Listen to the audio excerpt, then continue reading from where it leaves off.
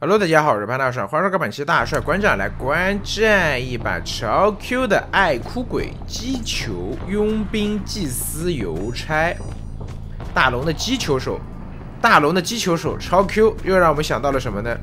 想到了那场大龙，对吧？梦幻般的三跑啊！但这种呢不推荐啊。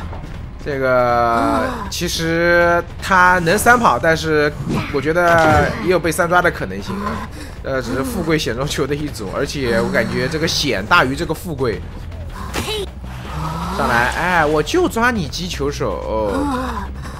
这边出圈紫火可以封这个交互点吗？来拉，哎呦，差了一点点，蓄力刀，好的，可以，可以，可以，打中闪现一刀带走。其实节奏不算特别差，不过呢，击抓击球手有个什么问题呢？就是。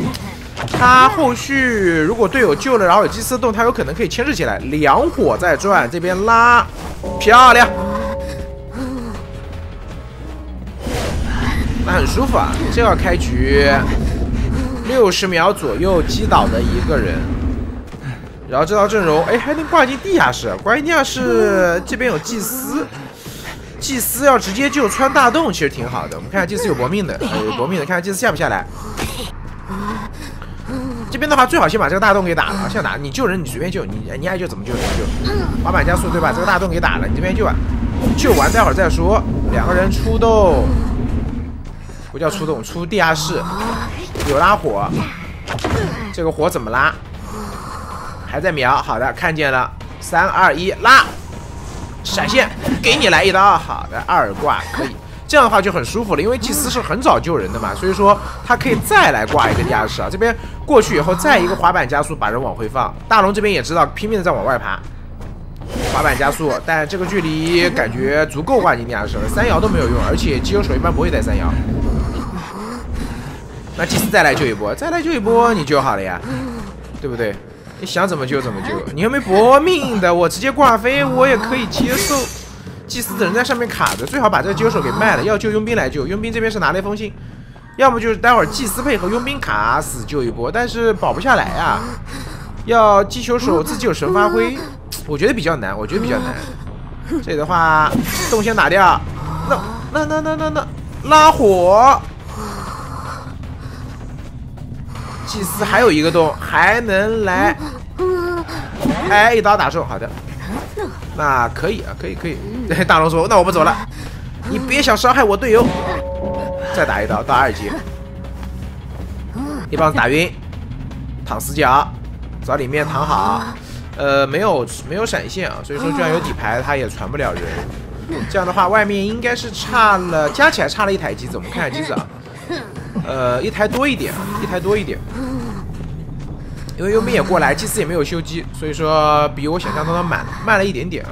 这边带机子无所谓的，在机子放着就可以了，你不可能永远在那边死守的。外面求者状态比较好，对于超 Q 来讲，这局要赢的话，其实更多的是开门战了。开门战之前是拦不住的，开门战之前想要拦住，除非求者失误啊，对吧？失误倒在遗产机，但我们可以看到求者这边已经开始多修了，所以说不太可能就是密码机修不完的啊，一定是能修完的。这个级别的求生者不会给你那么多机会的。反身过来找佣兵，看见了，好的，消耗佣兵的护臂也不错，追没打到。八师傅这边这一刀应该是肯定要吃的，吃完一刀以后还有一个加速，哇，这一波加速感觉爱哭鬼又踩了一个香蕉皮往前一滑，推倒了这边的佣兵。两秒钟，一秒钟，好的，来过来，再来一刀漂亮。祭司绕过去补密码机，邮差的话这边机子能开，祭司修完以后。祭司是想打个大洞吗？还是说想把爱哭鬼骗过来？他想把爱哭鬼骗过来，大家注意，这边是想把爱哭鬼骗过来，然后这个机子是肯定能修完的。